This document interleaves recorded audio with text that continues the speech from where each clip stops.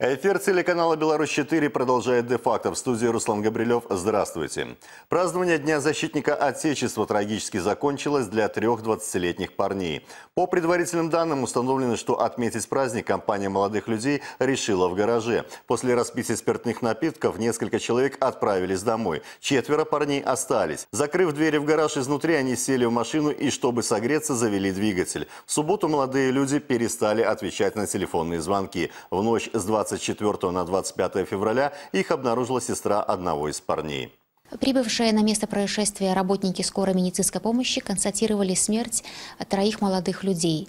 19-летнего парня в бессознательном состоянии госпитализировали. По предварительным выводам экспертов, Причиной смерти стало отравление угарным газом.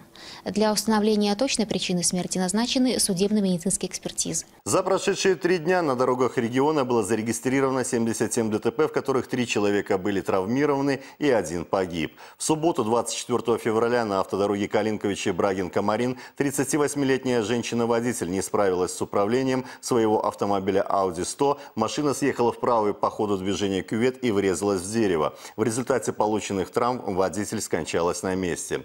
В этот же день в Гомеле на улице Дорожной произошло лобовое столкновение автомобилей ВАЗ и Рено Сандера. Водитель ВАЗа пытался избежать столкновения с грузовым автомобилем МАЗ, который перестраивался с правой полосы движения на левую, в результате чего выехал на встречную и врезался в Рено. Пострадал водитель ВАЗа. Он был госпитализирован в реанимационное отделение областной больницы. Просьба к водителям учитывать погодные условия, соблюдать скорость движения на дороге, чтобы скорость была безопасной, при этом учитывать возможности своих транспортных средств, чтобы было совершено меньше дорожно-транспортных происшествий, ну и прежде всего безопасность на дороге. В Светлогорске пожарные спасли двух человек из горящей квартиры. Сообщение о возгорании в райподразделение МЧС поступило 24 февраля в половине четвертого дня. По прибытии на место пожарные обнаружили хозяйку и ее гостя, лежащими в задымленной квартире. Надев пострадавшим кислородные маски, спасатели вынесли их на свежий воздух и передали медикам. С предварительным диагнозом отравления продуктами горения мужчина и женщина госпитализированы. Пожар был оперативно ликвидирован спасателями. Причина пожара устанавливается. Одна из рассматриваемых версий – неосторожное обращение с огнем при курении. А в Рогачевском районе спасли лошадь, провалившуюся в канализационный колодец. На помощь сотрудников МЧС